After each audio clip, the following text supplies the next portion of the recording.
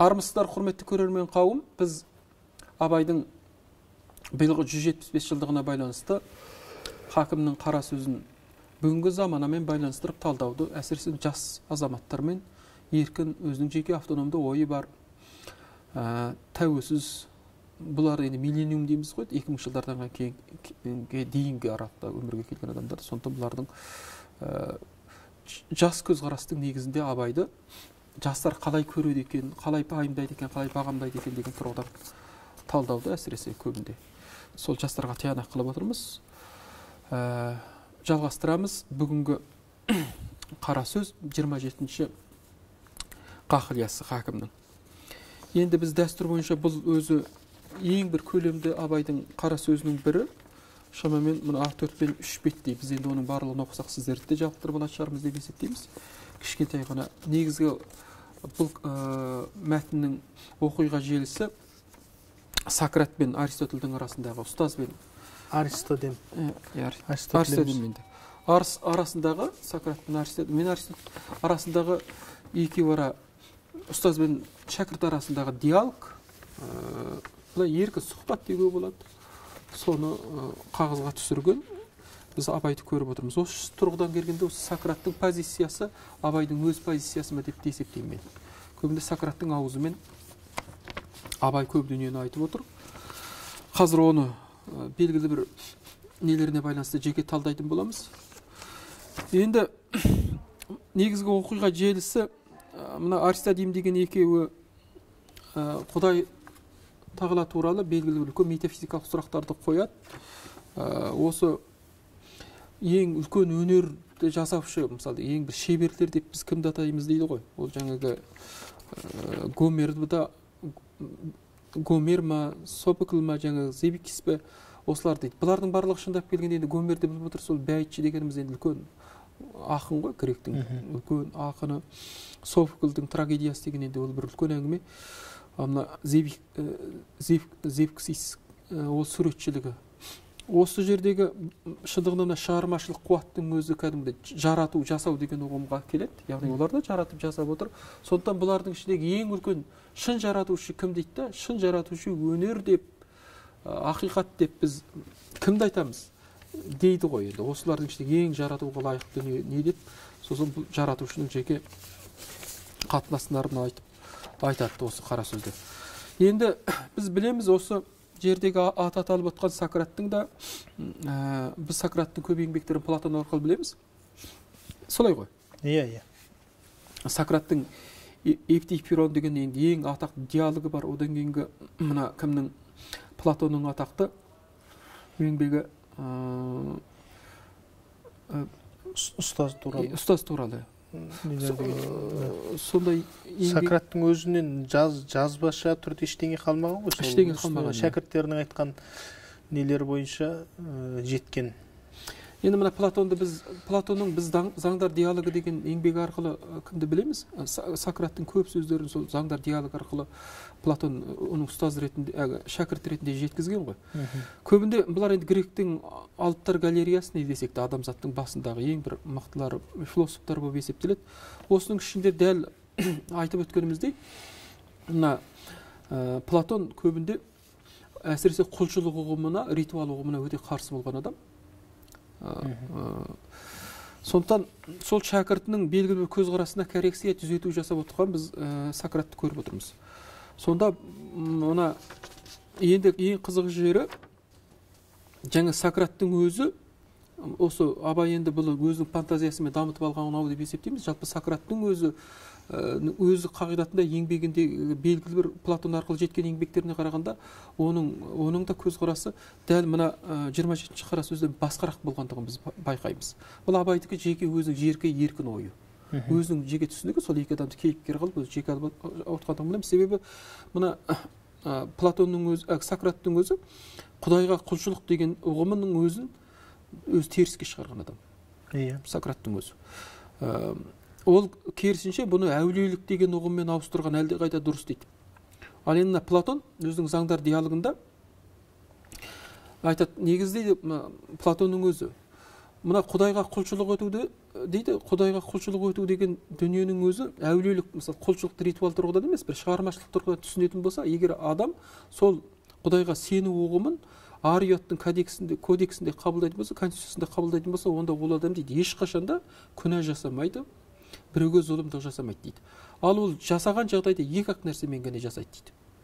Яғни құдайға сенген адамда ол түсініп отырсыз ғой ол өзінің кодекстік нормасына айналып кеткен адам ешқашан одан кейін күнә жасамайды дейді. Әділет әділетсіздікке де бармайды өтірікке қиянатқа бармайды. Ол бірақ барған жағдайда мынандай екі жағдаятта барады дейді. Біріншісі ол сенбеген дейді. Мүлде ол адам сенбеген дейді. Екіншісі ол құдайға құрбандық пен құлшылық шалу арқылы сол күнәмнан өзім құтылып кетемін деп ойлайтын адамнан дейді. Ең мәселенің барлық қауіптісі осыда дейді. Бізде осы шындап келгенде де осы үшіншісі біз алланың бір саудагерлікке салатын әсіресе осы жаңа қажылыққа барсақ өйстсек намаз оқысақ осы бір саудагерлік бір ұғымдар иә. бар. Осы арқылы кешірім сұрап құтылып кетемін деген дүниені айтады. Енді платонның өзі айтады осы жерде платон айтады күнәларын құрбандықпен әм құлшылықпен жуып шайғысы келетіндер дейді өзінің сөзінде. Құдайды жемтік үшін қасқырға мына жемтік үшін қасқырға сатылатын мен оны қой бағар итке ұқсатамын дейді. Соны айтып айтып келеді де ең айтатыны бар мына сократтың өзі айтады. Егер құдай біздің жанымызда қараңыз егер құдай біздің жанымыздағы тазалық пен әділдіктен гөрі өзіне шалған құрбандық пен құлшылықты артық көрсе бұған мен енді бас шайқағаннан басқа ештеңе істей алмаймын дейді. яғни бұл жердегі осы ұғымдардың барлығы мен мына жаңағы эфитофромен жаңағы несін диалогтарын оқығандықтан олардың еңбегімен ете таныс болғандықтан мен абайдың көрген дәл осы ұғымдарын көрген жоқпын бұл абайдың жеке аудармасы жеке бір ой жосының ретіндегі дүние болғандықтан айтып отырмыз. Сондықтан бұл жерде ат аталғандықтан осы кісілердің де жаңағы белгілі бір көзқарастарын есеге айтып айта кетуді қоса кеткенімізді жөндеп санаймын дейсіз ғой. сондықтан ендігі сөзді өзіңізге берейін. Қара сөзге оралайық иә қара сөз керек енді өзіңіз оқыдың ғой. Бұл қара сөзді мен оқыдым. Жаңа өзіңіз де айттыңыз абай өз заманының адамы өз заманының сөзін сөйледі деп.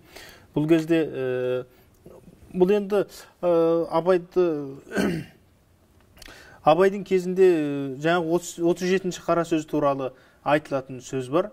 Бұл жаңағы ненің семейге орыс миссионерлерінің келуі христиан дінін тарата бастауы осыған байланысты ә, ненің ішіндегі қазақтың ішіндегі белгілі жаңағы ә, имамдардың белгілі осы абай секілді ә, адамдардың осы халықтың елдің дінін негізі нені исламды ұстады деген аты болмаса сол шын мәнінде де шоқан уәлихановтың деректерінде келтіретіндей сол кезде әлде толық сіңбеді әлде жаңағы сопылық арқылы келген бүкіл білім ұмытылып кәдімгі бір жаңада айттық қой 19 ғасыр өзі бір бөліп алда билей бермен әбден қазақтың тозған кезеңі деп. Сондай бір тозған кезеңіне жеткен кезді осы кезде кез келген дінді кез келген идеологияны сіз халыққа оп оңай сіңіріп жібере алар едіңіз да осыған осы мақсатта жаңағы неде алып қалу мақсатында исламда ә, дінде ә, бұл жерде ұлттың діні өзгеретін болса ол тұтас болмысы да өзгеріп кетеді. Өйткені енді ең үлкен идеология бәрібір де дін болып отыр сол кезде. Сол кезде қазірде де сондай ғой енді көптеген мемлекеттерде дінмен ұстайды ғой. Сондықтан ә, бұл жерде бұл 27 ші қара сөз сондай бір мақсатта жазылған секілді көрінеді. Ә, неден гөрі ә, жаңағы бір философиялық трактаттан гөрі уағызға жақын ә, дүниедей көрінді маған. Жоқ бұл жерде енді мен сіздің бұл пікіріңізбен моральдық уағыз деген бойынша келісе қоймаймын. Жалпы бұл жерде мынандай мәселе бар да абай өлеңді жазған кезде басқа адам немесе қара сөзді ғақылиян жазғанда басқа адам емес. Бір адам, адам кейде өлеңнің енді поэтикалық күшін білесіз өлеңдегі өлең ә, не нәрсені тікелей айтпайды самалсыз оққан оның енді өлеңнің өз өлшем басқарақ қой енді ол бір емексіту тұспалдау тұрғыдағы ғана формасы сонысымен өлең ғой. Ал енді жаңа тікелей ашып аршып барлығын айту сондықтан абайдың абайдың өлеңдегі деңгейге белгілі нәрсе ол бас ашық нәрсе. Ал ол қалай болғанда да кейде адамның бір айтқысы келіп отқан өлеңдерінің бәрі жұмбақтау өлеңі жұмбақты талап етіп отырғандықтан көбі ашылмай қалады. Сондықтан абайдың біз кейде белгілі бір өлеңдерінің ұғымын өлеңдердегі ұғымдарды қайыра қара сөзге салып талдағандығын байқаймыз. Осы жердегі менің түсінігімде бұл жердегі жаңағы мен не үшін жаңағы сократтың мен платонды айтып өткендегі дүнием себебі бұл абай ойымен ешқандай ә, бір консенсуста болмағандығын тоқайласпайтындығы туралы айтып отырмын. Бұл екеуі де жаңағы құлшылық ұғымдарына басқа категорияның сезіммен қарап өткен ал абайдікі басқарақ. Сонда мына абайдың жалпы бұл жердегі айтып отқандағы дүниесі бұл таза махаббатпен жаратқан адамзатты деген өлең бар ғой сен де сүй сол баланың жанын иә иә иә. Сол ұғымның қайтадан бір екі адам арасында жеңілдетіліп түсіндірілген нұсқасы. Дұрыс дұрыс. Сонда бұл енді мына жерде жаңа айтып айтып келеді де химметесі екендігіне һәм махаббатпен жаратқандығы шүбәсі қалмады ғой дейді. Жаңа саған көз берді құлақ берді осының барлығы сені айрықша жаратқан дүниесі еді ғой дегенге келтіріп отыр ғой. Иә, енді иә. біз осы жерде қалай болғанда абай неге оны махаббатпен жаратты дейді? Біз енді бұл жердегі айта кетуіміз керек ә, себебі ана жерде де сені неге қазір оған толданаймыз әуелі осы махаббат деген ұғымның өзі біз жалпы абайдың махаббат ұғымының генезисі негізгісі. Ә, адамды халифат қылып жаратты деген ұғымнан алып отыр ғой деп есептейміз. Өйткені оның генезисінде бәрібір құран бар киелі кітаптардың бәрібір сілтемесі бар деп есептейміз. Сондықтан енді бұл жердегі мәселе осы жерде адам рухының тарапына дем салынды дейді ғой. Демек адамды мына адамның жаңағы мағжанның мен құдайымын немесе мен ұғымына мысалы біз өкінішке қарай жеке мен ұғымынан айырылып қалдық та біз біз деп сөйлейтін жағдайға кетіп қалдық қой. Ал біз көбінде коллективтік дүние көбінде коллективтік дүние тобырлық дүние.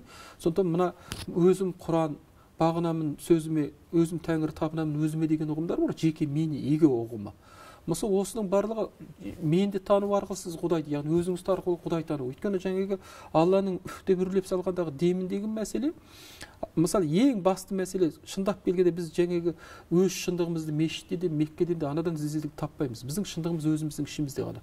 Бұрынғы қазақтың қалай болғанда танымдық жүйе ретінде тұтас көрсетіп құдай қайда дегенде жүрегін көрсетіп отқандағы дүние сол танымдық өлшем. Ол мен де менің өзімін деген сөз сол әннәл хақ деп мен құдаймын деудің өзі кешегі сопылық мақамындағы бір мәселелердің барлығы. Бұл әннәл хақ мен құдаймын деп айтудан біз қазір мен құдаймын деп айтудан қорқады бұл шындығында мен құдаймын деп айтудан адам қорықпау керек. Мен ана сталиндік саясатқа түскен құдайды айтып отырған жоқпын. Себебі құдай өзіңнің демің ішіңізге өзіңіз өрленгендіктен өзіңіздің ішіңізде болғандықтан мәселені айтып тұр. Құдай сенің өзіңнің ішіндегі деген мәселеде сондықтан адамның адам алламен сапарды бірінші өзі арқылы көктеп өтеді екен ғой. Өзі арқылы өз жүрегі арқылы көктеп өтеді екен. Демек оның меккесі де өзінің жүрегіне сапар. Оның жүрегіне үңілу құдайға сапар деген мәселе сондықтан абайдың бұл жердегі айтып отқан мәселесінің барлығы осы. Ал бұл жердегі құлшылық мәселесі бар. Ал құлшылық шексіз уақыттағы ұлы мәртебедегі құлшылық мәселе. Бұл жердегі құлшылықты біз дұрыс түсініп отқан жоқпыз. Жаңағы осы мына кім айтып келеді ғой? Ең соңында енді сен дейді осындай қылып жоғарғы деңгейде жаратқан адамға достыққа достық қарызсыз болды ма дейді? Қарызсыз болды ғой дейді. Yeah, иә. ал бірақ енді оны біз жақсылығымызды қайтарудың жолы құлшылық дегенге әкеліп отыр мына жердегі құлшылық. Иә иә. Құлшылық қылмаққа қарыздар екенің мағлұм бол, болмай ма деп түйіндеп отыр ғой сөзін. Иә иә. Ал біз осы жердегі құлшылықты жаңағы мына кәдімгі ритуалдық құлшылық деп түсінбеуіміз керек. Тура. Біздің қателігіміздің бәрі сол біздің ақыл ойымыздың жаңағы ұлы осы дүниелерді тану білу сезіну иә осы сол құлшылық құлшылық құлшылық деген ұғымның өзін абай тағы тоқталады емес пе? Иә жаңағы сенің артыңды жуғаның құдайға не керегі бар? деп келетін. Осы тура сондағы ең бастысы ішіңдегі ниетің болып отыр ғой. Иә өлшеусіз ұлы ақылды тануды құлшылық дейді. Яғни жаратушыны тануды құлшылық дейді. Құлшылық деген біз біздің иіліп шындығында келгенде бағанағы платонның сөзі айтып отқан егер менің солар үшін саудагерлік дүние үшін болса онда қасқырға бөріге сатылған жаңағы жаман итте менің не артықшылығым бар? Егер дейді бізде құдай дейді менің құрбандығымды менің құлшылығымды әділеттен және кісіліктен әлдеқайда шығармашылықтан биік қойса онда мен ол құдайдан бас шайқадым дейді. Шындығында келгенде бізде мысалы біздің осы жердегі құлшылығымыздың өзі шығармашылық механикалық құлшылықты айтып отырған жоқ абай. Жасампаздық құлшылықты айтып отыр яғни шығармашылық. Біз шындығына келгенде құдайды эстетикалық өнерден ә, шығармашылықтан іздеу керек қой. Құдайдың өзінің болмысы ол. Жаңағы мысалы алдында бір мақаламызда да айтып өткенбіз осы жерде де кішкене жана идея бір жана келгендіктен оны айтып өту керек. Біз қазіргі сәтте мына жиырма бірінші ғасырда ә, осы көп дүниеміз көзқарасымыз өзгеру керек. Өйткені ғасыр біздің мына советтік хомо советикус дейді ғой бағана да айтып жатырмыз ғой. Советтік өлшемдегі берілген жеке тұлғалық анықтамаларымызды әдеби анықтамаларымыз тіпті моральдық анықтамаларымыздың бәрін шақты қазір енді менің түсінігімде бұлар шағатын болса онда бәрі өзгеру керек. Біздің тіпті әдебиетке байланысты көзқарасымызда тіпті біздің тұлғаға байланысты көзқарасымызда біздің сатқындыққа байланысты көзқарасымыз өзгеру керек себебі біздің сатқындық кеңестік сызып берген моральдық өлшем де емес. Адамзаттық стандарттық өлшемдерге өту керек. Біздің гуманистік бағана қуанып отқан дүниеміздің өзі жаңағы аттан озып келген шаруа емес. Онда адамзаттық стандарттық өлшеміне қарай ауысу керек. Егер бізде қажылық деген дүниенің өзі менің түсінігімде енді мен бұл жерде субъективті пікір менің біреу ауызымды кесіп алмайтын шығар. Менің түсінігімде қажылықтың өлшем шарттары өзгеру керек. Менің түсінігімде ритуалды қажылық емес. Шапенді түсіне алатын күнәдан тазару процестер адамның шапенді моцартты тәттімбетті түсіне алатындай өлшем бірлік өткенде ғана біздің күнәдан тазару процесіміз болады. Яғни менің өлшемдегі тазару процесі танымдық классикалық танымдық процеске ауысу керек. Ол ана меккеге барып жеті рет тасты айналып келу мәселесінде емес адамның өз ішкі мәселелерін өту керек деген мәселені көтердік. Енді бұл мен жеке өзімнің ойым. Дұрыс. Ә, енді мен, мен менің ойымша жаңағы ойымды енді ары қарай дамыта кетейін. Бұл жерде ә, мен жаңағы бұл енді мүмкін шынымен де мен басында бұл жерде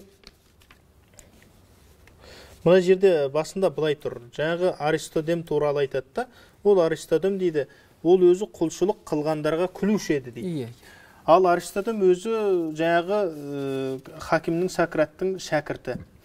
Ол да былайша ой қуған адам. Ол да өзін іздеген адам. Ол да өзін танып отырған адам. Яғни ол да құлшылық жасап отыр ғой.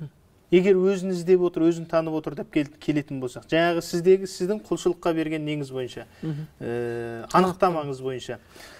Сондықтан бұл жерде мына жерде бұл құлшылық қылғандарға күлуші еді дегеннің өзінен ә, бұл жерде бір қимылды физиканы меңзеп тұрған секілді көрінеді да. Сондықтан бұл жерде менің бұл сөзді уағыз деп қараған себебім де осыған байланысты болды. Әуелгі сөзді осылай басталғандығынан енді ә, бұл сөз 20, 27 қара сөз осы басынан аяғынан жаңағы аристодемнің құлшылық қылғандарды ә, күлетіндігін терістеу оған санасына құлшылық қылудың дұрыс екенін енгізу мақсатында болғанда бастан аяққа диалог. Сосын осы жерде жаңағы сіздің құлшылық қылу дегенге берген анықтамаңызға ол құлшылықтың өзін жаңағы сіздің сөзіңізді білейін. Ана махаббатпен жаратқан адамзат деген осының өлеңдік версиясы деп айтып отырмын ғой. Сонда ол керісінше құлшылықты талқандайды түсініп отырмын. құлшылықты талқандайды. Иә иә. Есіңізде болса сыртын қанша жуса да оңбаған деген. Иә иә. Біліп отырсыз. Иә оны біліп отырмын оны түсініп отырмын.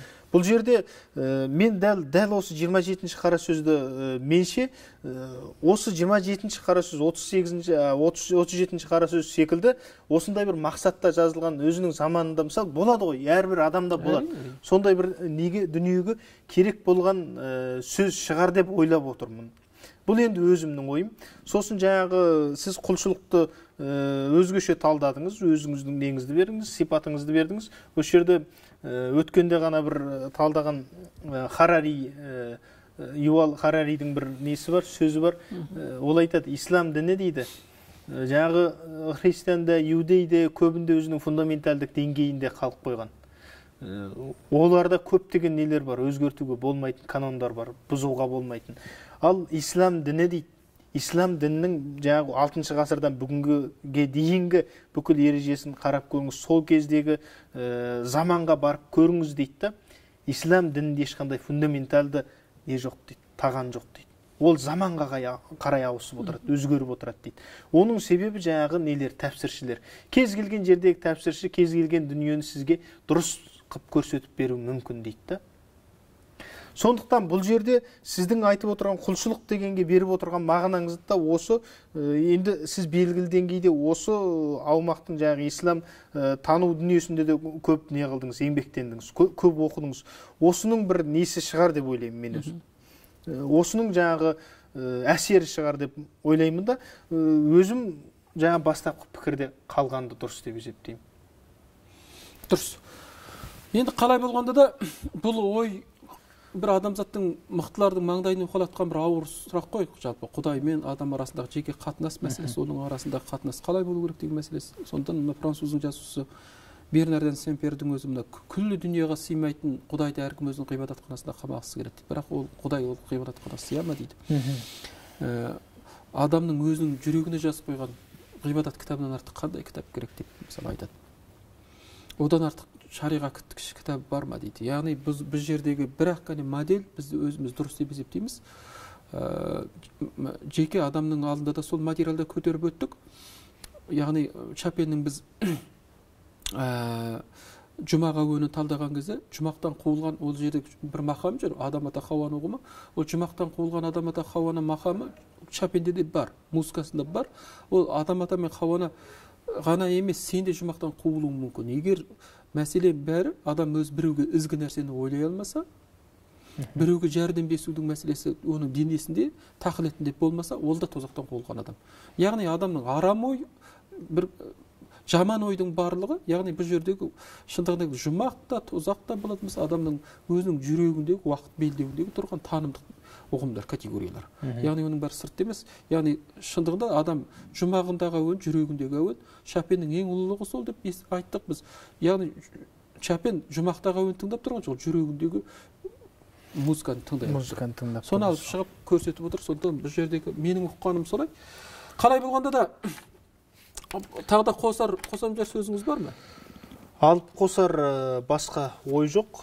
Негізгі бір абайдың ең жиырма жетінші қара сөз жаңағы бұл енді барлық көзқарас өмір сүруге тиісті деп есептеймін. Иә. Бұл жаңа махаббатпен жаратқан адамзаттың меніңше бір қара сөзбен жазылған соның версиясы деп ойладым менің түсінігімде.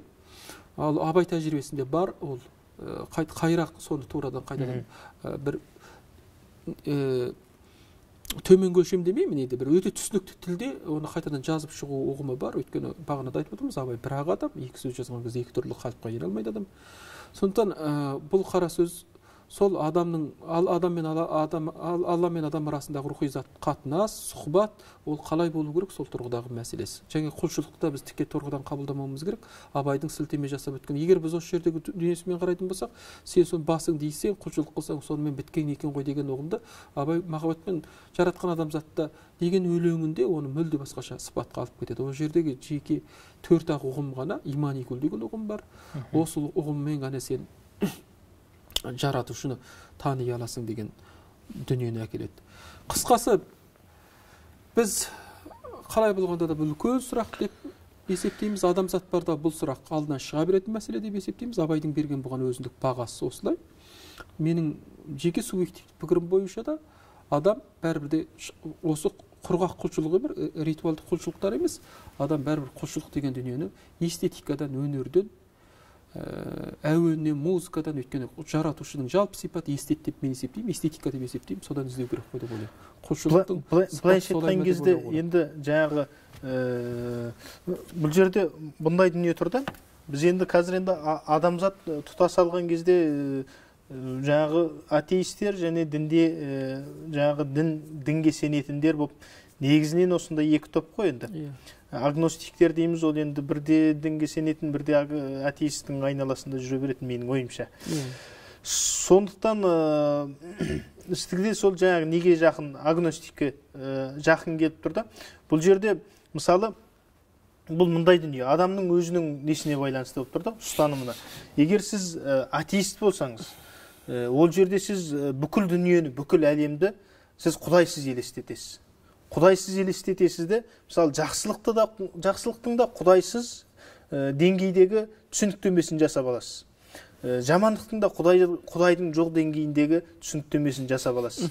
Ә, ал атеист жаман деген сөз емес атеист адам емес деген сөз емес оның да үздік ә, моральдық принциптері бар.